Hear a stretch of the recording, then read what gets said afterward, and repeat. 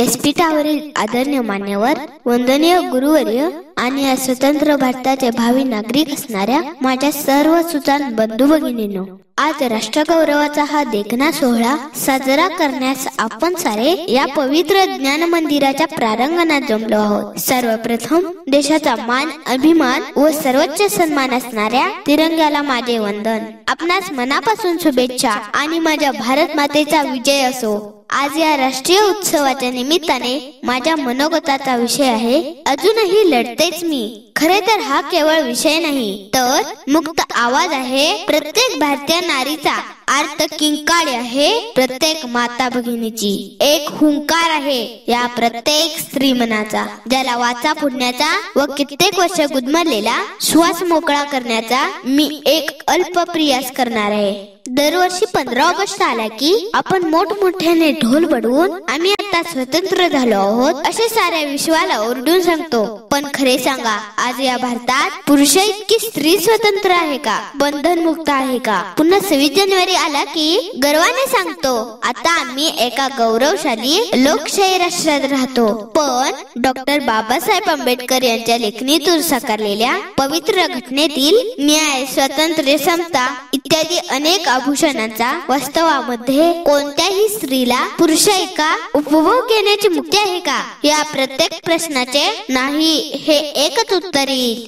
सांगा मग आता. या स्वातंत्र्याला या लोकराजाला खरा अर्थ येईल का? देशाच्या स्वातंत्र्याला आज जरी सात दशके लोटली असली तरीही आज भारतीय स्त्री झगड झगडत आहे लढत आहे. एका नव्या स्वातंत्र्यासाठी आपल्या अस्तित्वासाठी. स्वराज्यात स्त्री जातीवर अत्याचार कमी होणे तर दूर तो दिवसेंदिवस वाढतच चाललाय. रोज पेपर उघडून पहावा तर रोज कुठल्या तरी एका निष्पाप निर्भयावर झालेल्या अमानवी क्रोर्याची शोककारी वास्तव वाचण्यास मिळते. या देशाला गौरवशाली संस्कृतीची परंपरा आहे. पुराण काळापासून स्त्रीला समाजात मातेचे देवीचे स्थान होते. प्रत्येक मराठी माणसाचे आराध्य देवक छत्रपती शिवरायांनीही स्त्रीला माते समान मानण्याची शिकवण दिली. शिवाय अभिमान आहे की याच मराठी मातीत फुले शाहू आंबेडकर महर्षी कर्वे सारखी पुरोगमी विचारांची मुहूर्त मेट लावणारी आणि स्त्री जातीचा उद्धार करणारी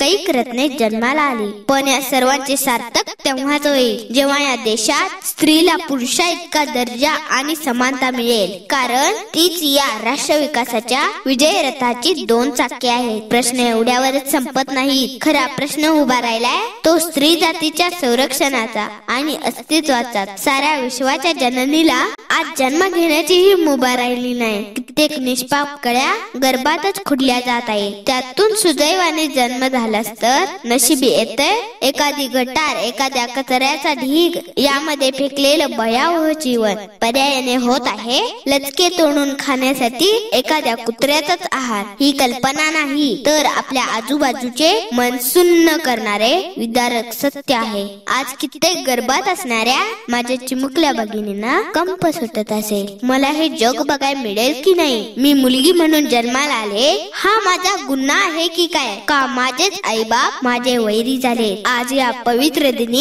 माझ्या सर्व वडीलधाऱ्यांना आयांना व ज्येष्ठ बंधूंना माझे ठोक प्रश्न आहेत. स्वतःच्या मुलीच्या जीवनाशी आपण हा अघोरी खेळ का खेळत आहात? तुमच्या पोटच्या गोळ्याला मारू नका असं शासनाला विनंती करून सांगायला आज करोडो रुपये खर्च करावे लागत आहेत. इतके बधी झालो आहोत का आपण? स्वार्थी झालो आहोत का सारे?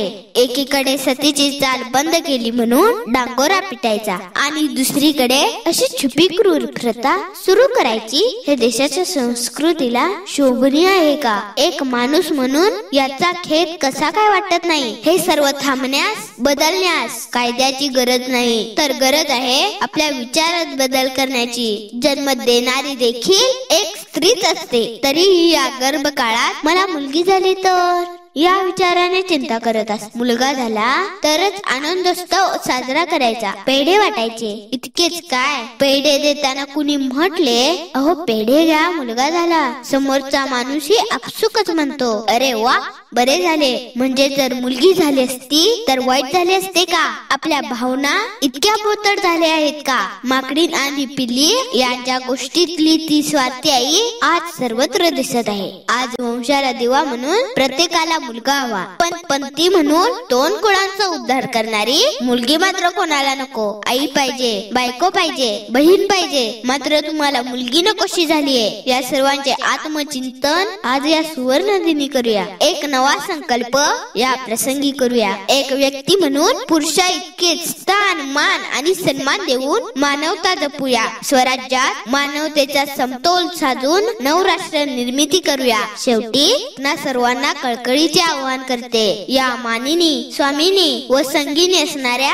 या स्त्री शक्ती दामिनीला बंदिनी कालकिनी बनवू नका. कारण स्त्री असेल तरच हे विश्व असेल म्हणूनच तर म्हणता तूच वाचून ना कुठला जीव. तूच वाचून ना कुठली जीव वंदितो तुझला हे स्त्री शक्ती तुझ्या अभावी कुठला चंद्र अन कुठला शिव. यासाठी वाळूच्या कणातून कणांच्या रेणूतून मानवाच्या मनातून मनाच्या स्पंदनातून एक निश्चय करूया. लेख वाचवूया देश वाचवूया. इतके बोलून विराम घेते. जय हिंद जय भारत.